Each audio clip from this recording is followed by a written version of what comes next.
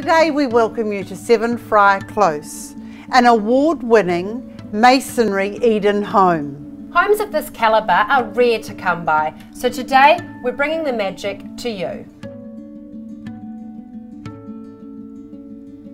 It has instant appeal as soon as you walk through the front door, and you will continue to be impressed throughout the home. The wide hallways lead you to the kitchen, with granite benchtop, gas cooktop, plenty of space, which is great for the avid cook.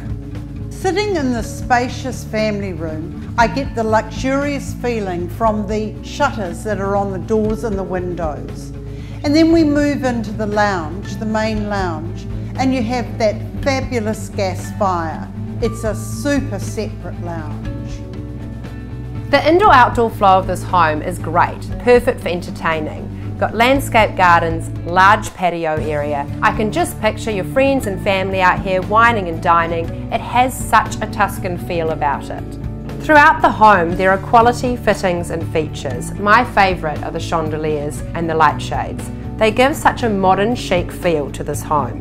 To the left of this family home are the four spacious double bedrooms. The master suite has ensuite, walk-in wardrobe and a ranch slider out to the patio area. The other three bedrooms share the spacious main bathroom. This home is set privately at the end of the cul-de-sac on approximately 522 square metres of freehold land. It's fully fenced and gated for enhanced security and privacy.